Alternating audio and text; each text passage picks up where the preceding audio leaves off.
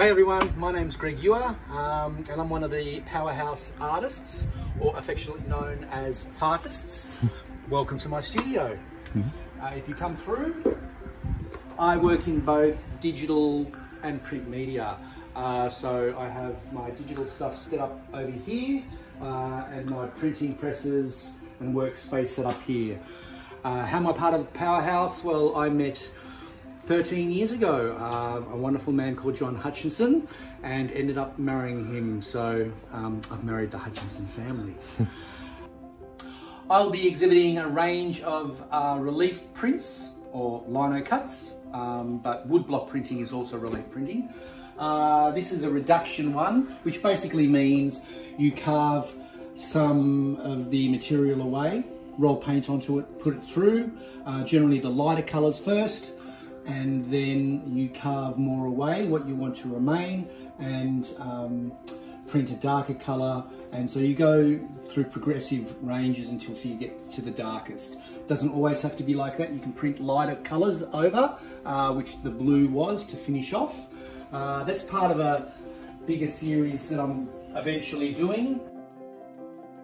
I exhibited that last year uh, but I'm going to put in a few smaller pieces this year. Uh, one of them is um, this, I call it gnarly, um, and that was about four um, carves and um, colours that were applied to that. This one here is just titled Melbourne. It's one of my earliest lino cuts. Uh, and I am going to do a couple um, in the coming months that are just back to a single print, so black and white. It doesn't have to be black and white, it could be any colour. Um, but yeah, I quite like the, the strong graphic um, nature of that print. Here uh, in my print space, uh, this is where I yeah, carve lino cuts up uh, and apply paint and then pass them through either of these presses. Uh, you don't have to uh, to do lino cuts, but uh, I've been lucky to acquire these large flatbed presses to do my work. Uh, this particular piece here was uh, a tiger I did, um, playing around with textile paint and all I do is simply roll the paint onto this and press it onto the fabric uh, to get that image. You can use also what's called uh, a baren. So with this piece here, uh, again, apply the paint, um, apply the paper and then just rub, uh, applying pressure, pull away to get that. However, um, the piece I'm going to be working on today um, is um, a lino cut that I'm into the final stages of doing. So yeah, I'll take you through the process. We need carving tools. I need a pen to draw um, my next phase onto, and I'll be back. Okay folks, uh, carving's done, so we're ready to print.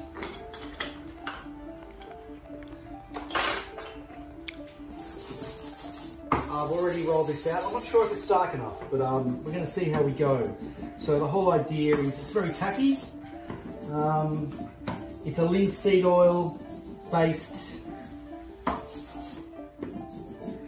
paint, fine art for relief printmaking. It's called relief printmaking because the raised part, the relief part, is what gets printed. So this first one is just always a test run. So that goes in there. Carefully placed down bring it over to press.